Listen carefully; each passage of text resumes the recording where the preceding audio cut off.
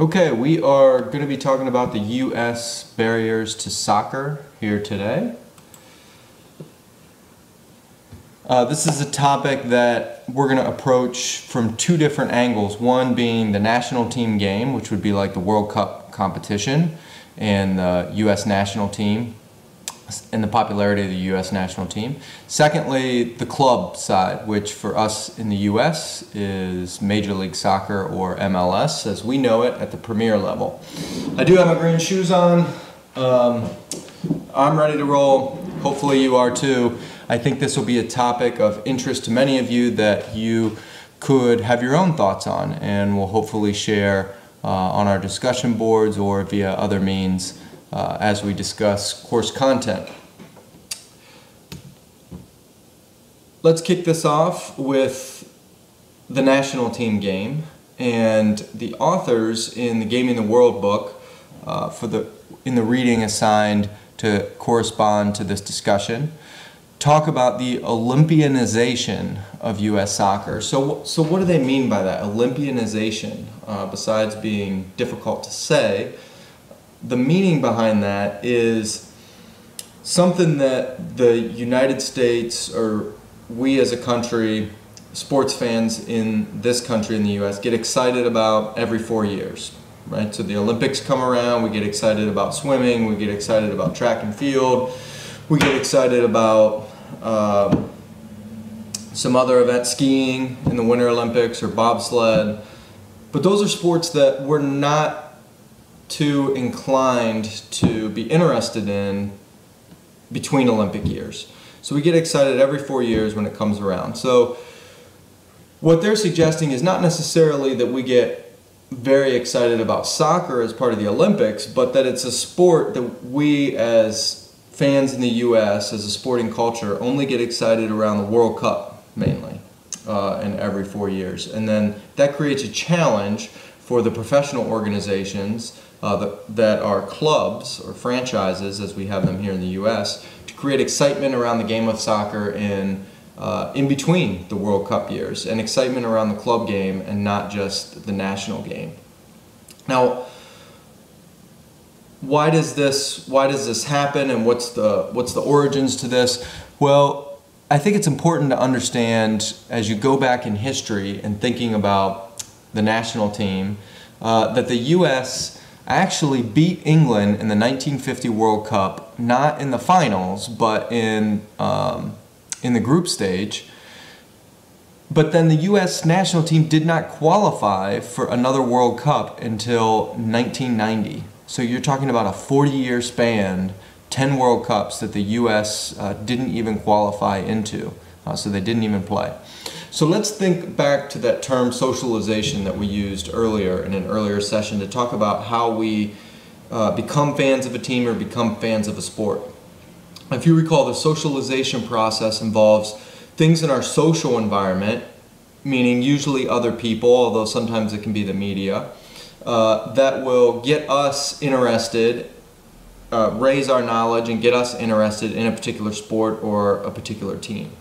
So the effect of the U.S. not making the U.S. national team not making the World Cup for those 40 years between 1950 and 1990 means that there was two whole generations, uh, which could be your parents' generation and your grandparents' generation, that when they were growing up, the U.S. national team didn't even play in the World Cup, right?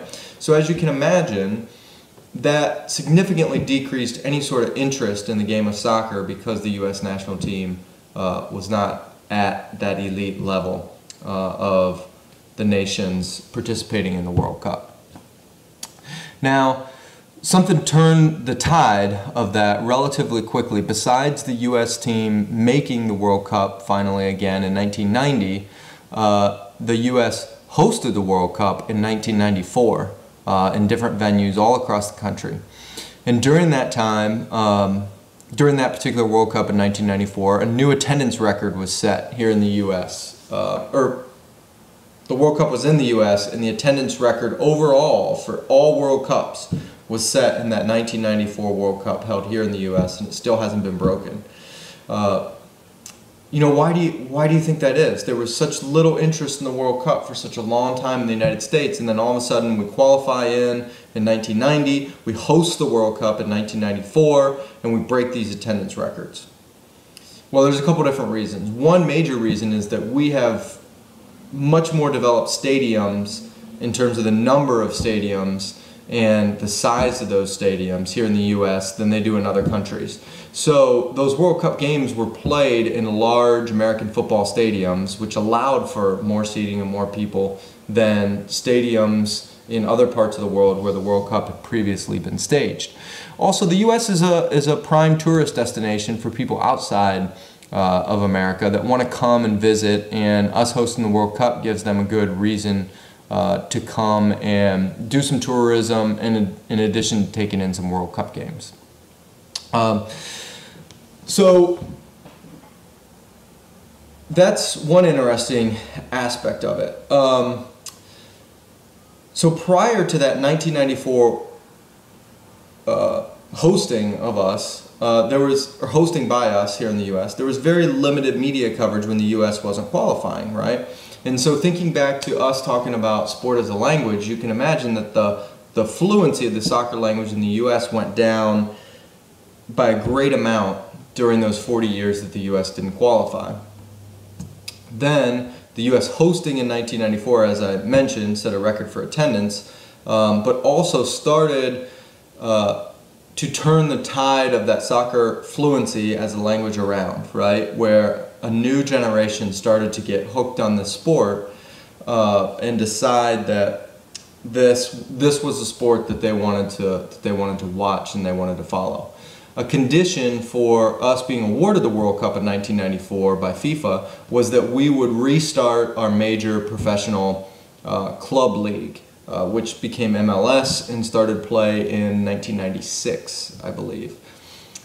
So while I said that lots of people came from all parts of the world to, to watch that World Cup in 1994, um, most of the ticket buyers were certainly native Americans. Not Native Americans meaning Indians, but people, Americans who lived in the United States, right? So not foreigners coming in just to watch the World Cup and going home.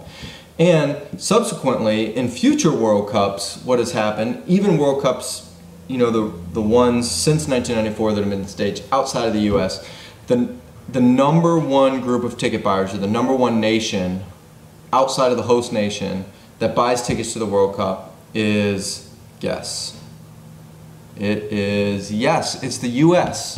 Um, so you might think, oh, it's England or Germany or um, uh, Argentina or Brazil that's just soccer crazy, and surely they buy more tickets to the World Cup than Americans do. Uh, but that's not the case. And again, there's a few reasons for that. One, we have a very large population in the US, not the largest in the world. China, India both have larger populations than we do. Uh, but we have a relatively large population here in the US, which means more people to potentially uh, buy tickets. We also have um, the most discretionary income and affluence uh, per capita still of pretty much any country in the world. So our middle class is of the type that has the means to save and then spend on a trip to South Africa or Brazil to see the World Cup, uh, see their team or our team, the U.S. team, compete in the World Cup. Uh, so we, I have a short video here uh, of the U.S. Outlaws, which is the supporters group for the U.S. national team that we will take a couple minutes to watch and it'll give you a flavor uh, of the fandom and the excitement that has developed around the U.S. national team.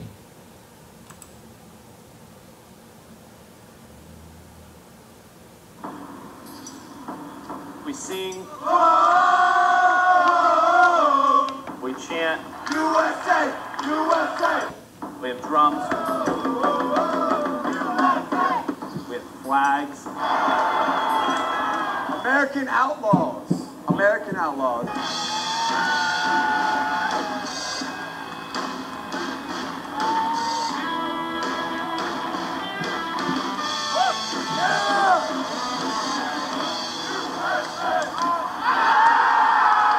American Outlaws is a U.S. soccer supporters group. Our mission here is to support the U.S. men's national team, but it's also here to bring fans to the game.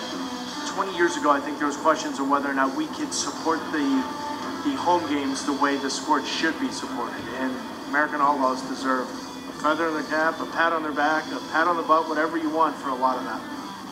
Man, we are in Phoenix, Arizona, supporting the United States men's national team playing Mexico.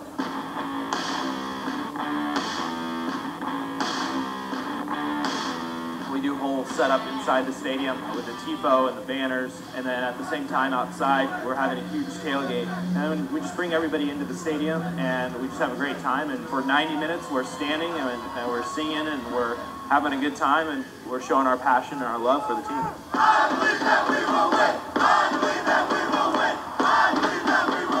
Our support they feel on the field. The chants, the ringing of all of it, that's part of the game. These chants have meaning. And the more you give, the more they feel, the better they play, and the better the results.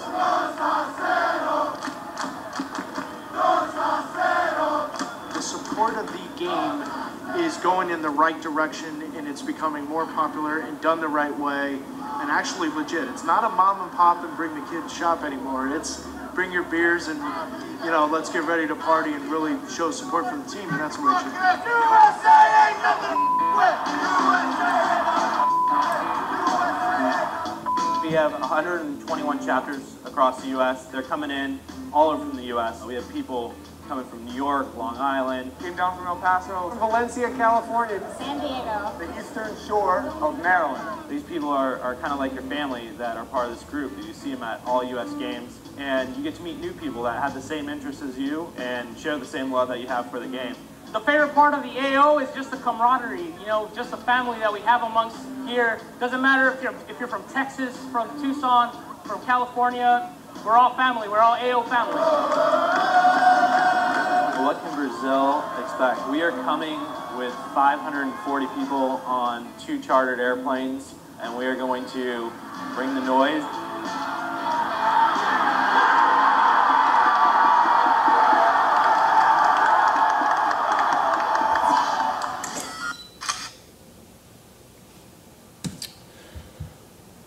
Whoops. Let's go back to our. So you could see uh, lots of excitement around the U.S. national team. Um, certainly, you've got some discretionary income there, where you have people chartering a f- uh, two different uh, airplanes uh, to bring the supporters group uh, down to that World Cup that took place in Brazil a few years ago. Um, so let's transition from the ticket buyers to what about TV rights? So FIFA sells the TV rights uh, to different countries around the world, right? Or to different uh, TV stations in each country uh, around the world. And the rights that those TV stations are willing to pay to broadcast the World Cup is based on what? How does ESPN or Fox Sports determine how much they're willing to pay FIFA to broadcast the World Cup here in the US? Well, they're thinking about how much advertising money can I make back, make back, right? How much can I sell the advertisements for during the broadcast of the World Cup? They're making an estimate of that, and then that's determining what their bid is uh, for the rights fee. The highest rights fee of any country to broadcast the World Cup is, again, here in the U.S. Um, so even though we might not think of the United States as being as soccer crazy as a lot of other countries around the world, because of the size of our country and the discretionary income associated with our country and the some of those barriers starting to be overcome first of which we just talked about being the fluency of the soccer language here in the US right? The US team is now national team has made the World Cup in several consecutive years. Our women's national team has been widely successful which we'll talk more about in another session. Uh, and MLS has started to grow as well, right? So the fluency uh, of the soccer language in the U.S. has certainly started to pick up. So that's one of the barriers that has begun to start crumbling.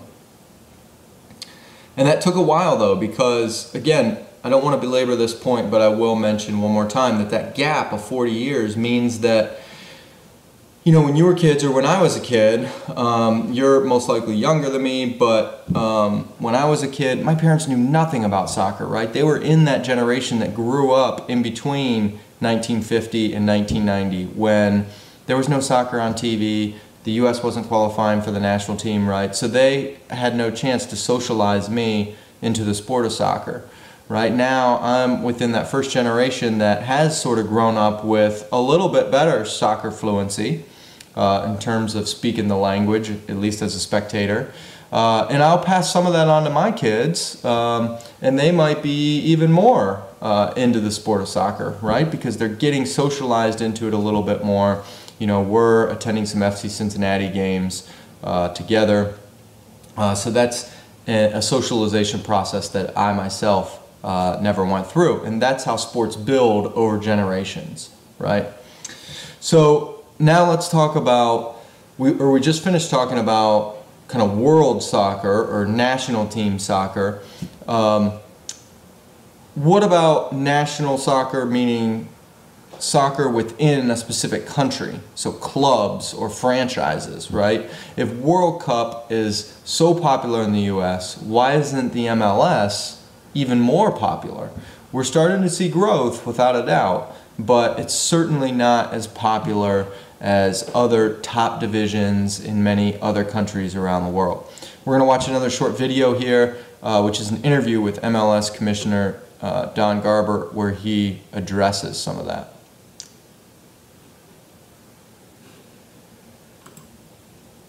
The league has grown dramatically from its founding in 96. We only had 10 teams. There was a round of expansion in 2005, and then almost every year since.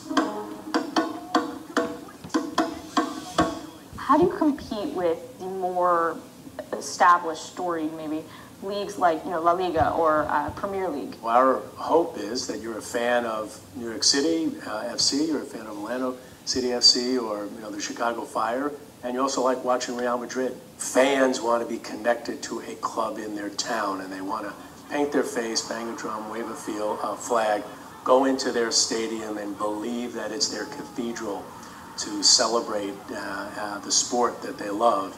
And you can only do that if you live in the U.S. and Canada through Major League Soccer, if you want to do it at the Division One level. How do you attract talent? What makes playing in MLS, you know, appealing to someone who could maybe compete, you know, well, you know, it starts with strategy, and our strategy is we want our league to be a league of choice for players. Obviously, you have to play, pay them well. You've got to provide them with the right environment, the best coaching, bring in David Beckham, get new television deals, uh, bring in new corporate partners, and that got us sort of to a new level. You mentioned David Beckham. That contract was, I think, reported $250 million.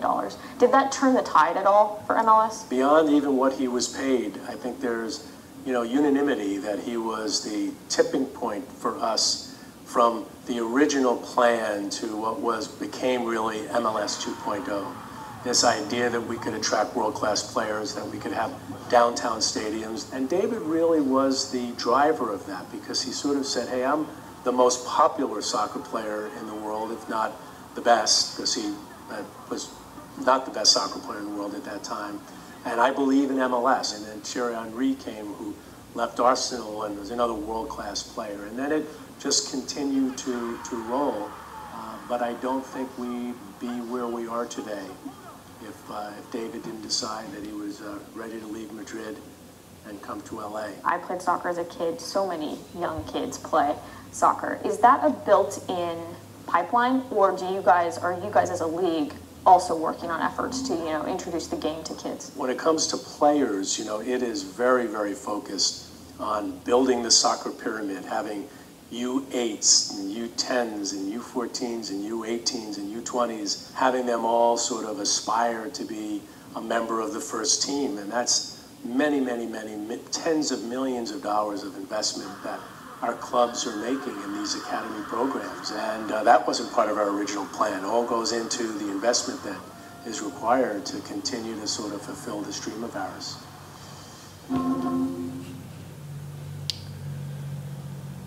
All right, so you get some idea there of the commissioner's reaction to is La Liga or EPL a competitor to MLS? you know, at least publicly, he would argue no, they're a complement to each other. Um, you know that that fans can watch those club uh, clubs in other countries uh, and also follow their local club here in the U.S. So, what's been the traditional barrier then for uh, soccer? Because MLS is not the first league to make uh, a run at establishing major soccer uh, here in the U.S.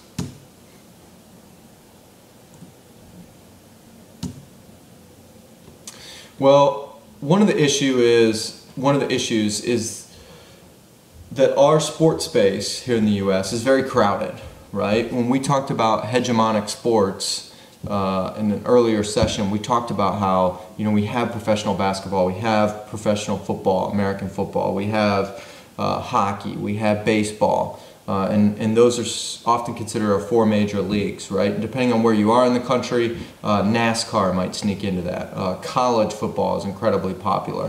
College basketball in certain areas is incredi- incredibly popular. So it's a crowded hegemonic sports culture, and so that's made uh, another barrier for club soccer to overcome to try and gather fans' attention, uh, money, and get fans to attach their identity uh, to a local soccer club. Another uh, hindrance that has since crumbled somewhat is that the media space uh, used to be limited, right? Um, until about 20 to 30 years ago, uh, you just had these four major networks. Uh, actually, for a while, three major networks, and then Fox came on, uh, was established. But you just had ABC, CBS, and NBC, uh, and they only devoted so much of their time to sports, right? And because of this uh, crowded sports culture that we have in the U.S., there wasn't much time for soccer. Uh, then you had Fox come along and add a fourth major network. Then you had the explosive growth of cable, right? Of course, ESPN being started in the early 80s, uh, and then ESPN2 and Fox Sports and, you know, all the other stations that have started with sports-only programming. And it created a lot more uh, broadcast media space um, that these lead, or that MLS could start to thrive in, right?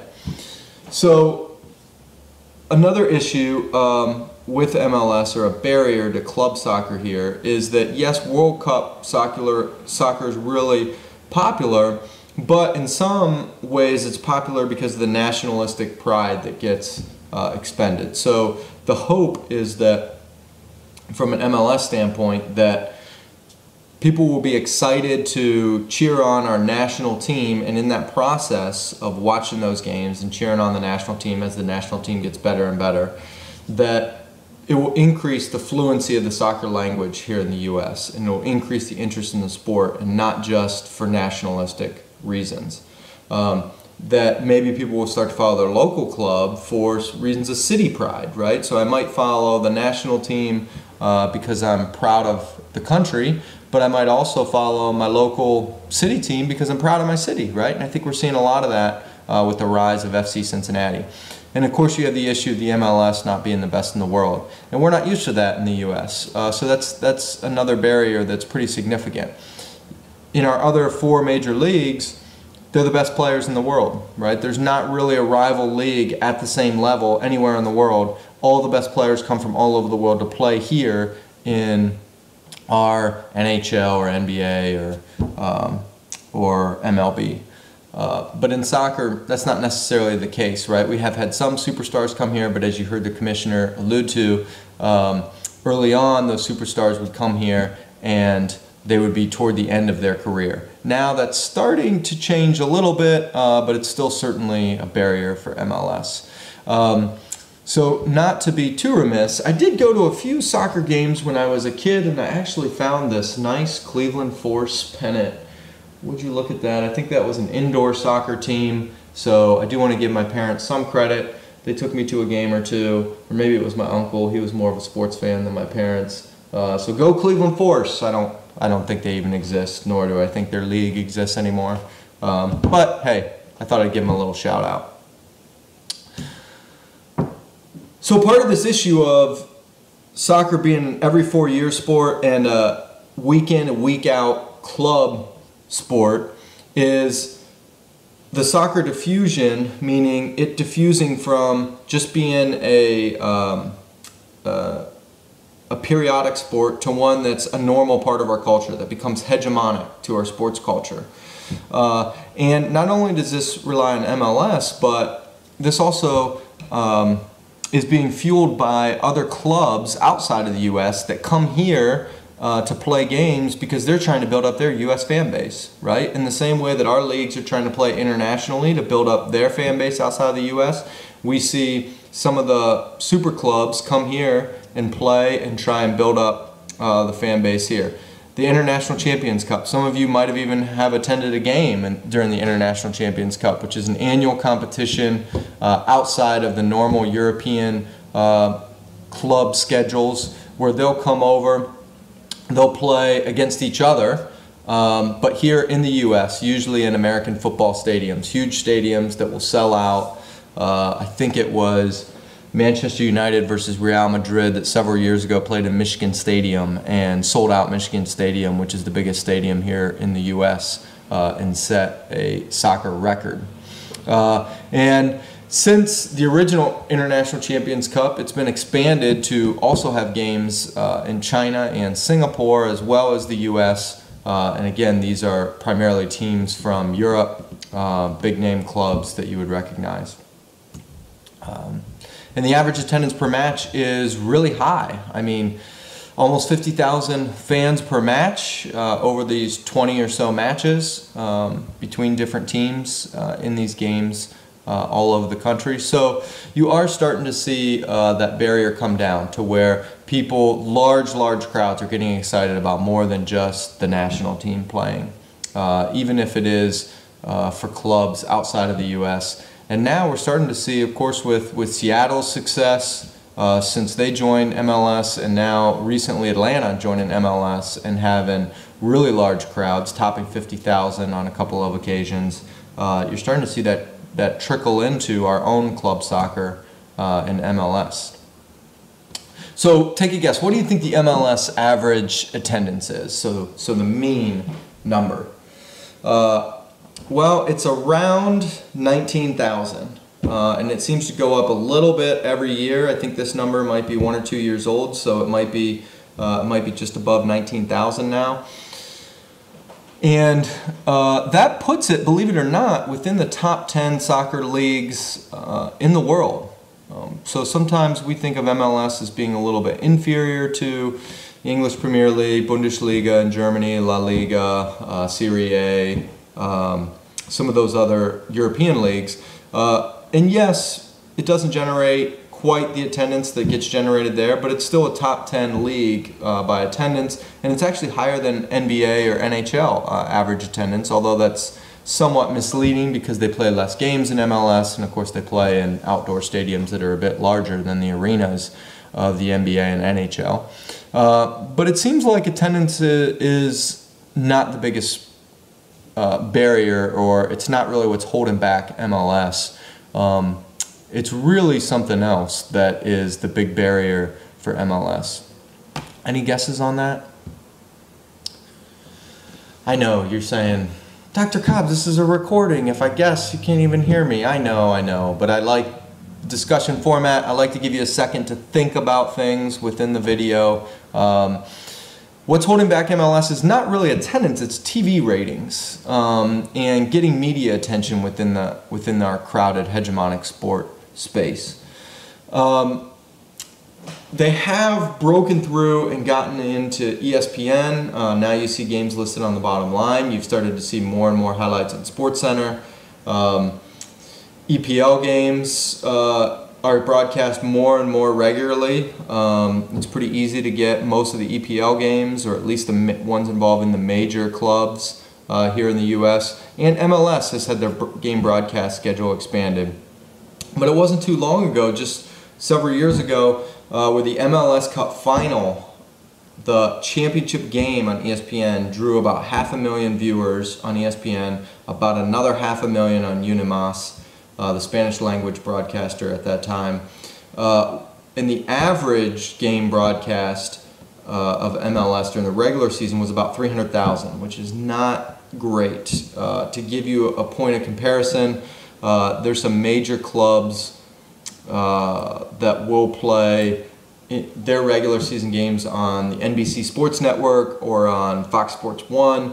Uh, Manchester United versus Manchester City, which is the Manchester Derby, uh, generated 1.2 million people. Uh, so that's double uh, the amount of viewers for the MLS Cup in that same year.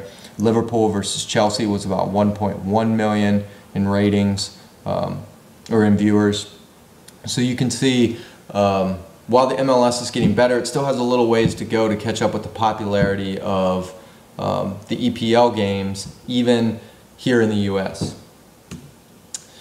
Here's a chart uh, that you can check out that kind of emphasizes what I was talking about, um, that yes, MLS um, is not at the level of some of these other leagues, but at the same time, it's, it seems to be expanding, and some of those barriers that we just talked about seem to be breaking down. Uh, you can see that this is several years old, uh, but it gives you an idea of uh, the NFL does really well, best league in the world from an attendance standpoint. Um, and then you see Germany, Germany's Premier League, which is Bundesliga, and the EPL uh, in third place there. You see Australian rules football does really well attendance-wise. Uh, and then you see our baseball league, you see Canadian football, that probably uh, surprises some of you. And then you see a few other uh, football leagues there before MLS comes up uh, in the number 12 spot. Um, and then you see basketball, the NBA, and the NHL right behind it. So, um, so it's growing, I guess is the point, and we are starting to see, I think, a shift um, in some of those barriers coming down. So let's talk about one last thing here as it relates to sports becoming international and certainly what we heard the commissioner talking about with Beckham coming to the U.S. Let's compare Beckham's move to the U.S. to Nowitzki, uh, who was a great player in Germany, uh, playing in the professional league, then got drafted by the Mavericks and came over here, of course, and played, had a great career for the Dallas Mavericks. Um, so what's the difference between these two effects? Let's think about this from a, from a sports marketing and business standpoint. So on the, in the one instance, you have Nowitzki, who is the best player in a particular country, go to another country, the US, where the best league in the world is, right? And that move then created lots of popularity for the NBA back in Germany, right? People wanted to watch NBA broadcasts, specifically ones with Nowitzki, but even games that he wasn't involved in the NBA really caught on in Germany uh, when Nowitzki came over uh, and played for the Mavericks. The difference being that in Beckham's instance, he went from a country where, now granted I know he was playing for Real Madrid when he transferred to, to the Galaxy, but he went being a native of the country England where soccer is already incredibly popular, right? He left that country, came to a league where the sport was less popular, um, and in an effort to make the sport more popular here where the league was based, right? You see the difference there, right? Nowitzki is leaving his home country where the lead, the top league is not really that popular, but he's coming over here to play in the top league, and the top league becomes more popular back where he came from in Germany, right? Whereas Beckham's leaving his home country where it's already really popular, coming over to play in a lesser league, trying to make that league more popular uh, in the place that he's going to. So a little bit of a difference there. So when we think about Beckham, um, what might be sort of a, a reverse analogy, if you will, um, if, say, Kershaw came uh, or went over to England and played in a baseball league over in England, right? He's one of the best players in the world. He would be leaving the popular league here, going to that other country to try and make the sport more popular over in England. Same thing if LeBron left uh, here and went and played in a basketball league in England, right? That would be kind of the reverse geographic effect. Um, in terms of Nowitzki, uh, what would be a reverse reverse analogy? Uh, well, that would be uh, somebody from the U.S., maybe uh, a driver um, say, a motorsports driver going and being highly successful in Formula One, right? Formula One is a sport that's already popular outside of the US, and if somebody from the US went and became world champion in Formula One, that might increase the popularity of Formula One back here in the U.S. Right? Uh, that would be an analogy or a reverse geographic analysis analogy for that Nowitzki effect. Now the media plays a big role here, right? Because if we didn't have such a large sports media uh, conglomerate, worldwide media, we wouldn't even know who Beckham was here in the U.S., right? And on the other side of the Nowitzki effect, uh, if we didn't have such a large media uh, conglomerate or worldwide media, uh, people back in Germany wouldn't be able to follow Dirk's progress here in the NBA. They wouldn't be able to get games uh, NBA games back in Germany, right? So the growth in the, the second or the second globalization, that digital globalization that the authors talk about in the Game of the World book, are key to both of these effects, right? So that we already knew how big of a star David Beckham was even before he came to the U.S. because of that digital revolution and the global nature of sports. Same thing in, in Nowitzki's case. We didn't know who Nowitzki was here, but back in Germany, they already knew about the NBA and they were able to then start following NBA games because of that digital revolution and the ability um, to have NBA games in Germany, which didn't exist um, several decades ago.